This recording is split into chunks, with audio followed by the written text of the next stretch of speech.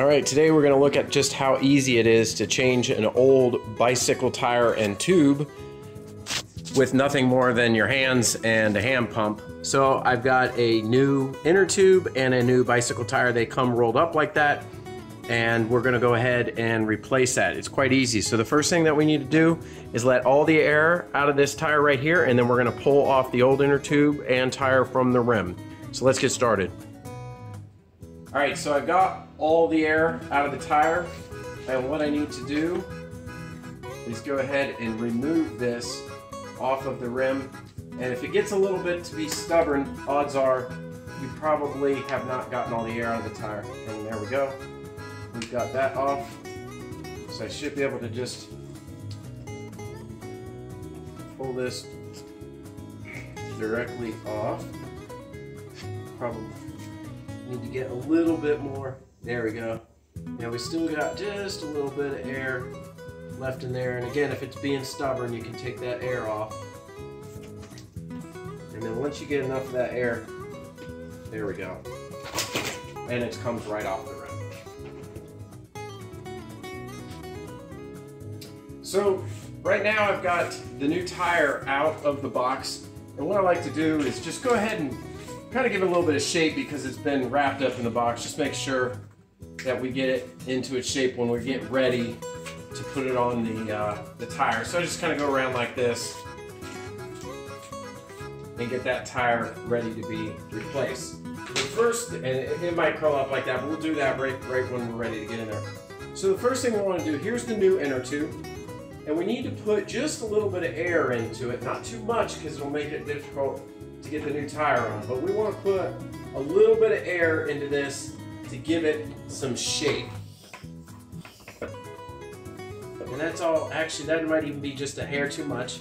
I only put three pumps into it. And we're gonna go ahead and feed that into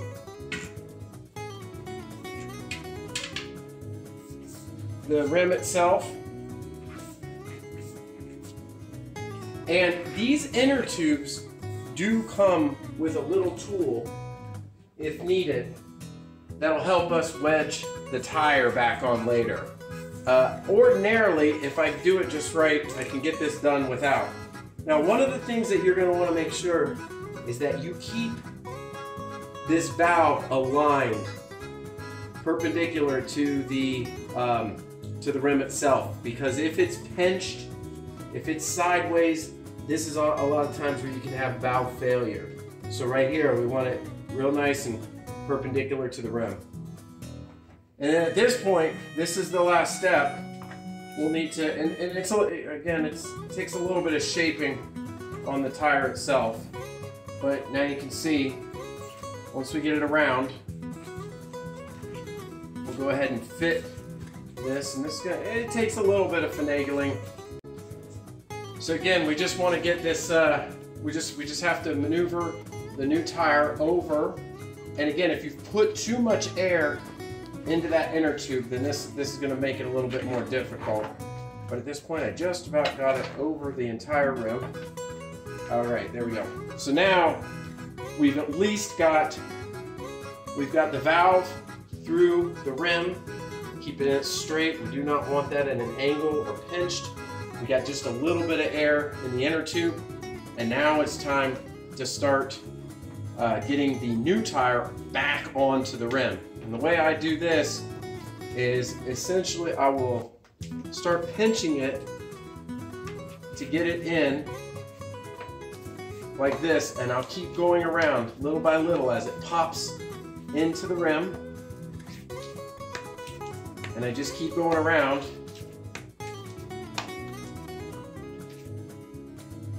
working it onto the rim, making sure that it's nice and snug. And then we've got one side. And then this is the last side. This is where it'll take a little bit more work. And then we'll be able to inflate the tire. So again, same thing. Just going all the way around, working it in with my hands, making sure that the other side doesn't pop out at the same time.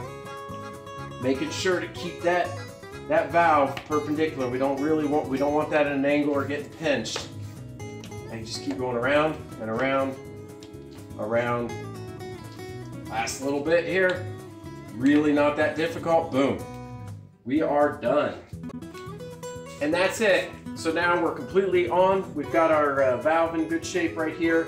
We've kept the tire on the rim. At this point, we can start to inflate it to the proper inflation. And one last trick you might want to do, um, sometimes I like to have where the proper tire pressure is to align um, right where the valve was on the inner tube, so that way when you're looking, it's just an easy reminder, but not, a requirement.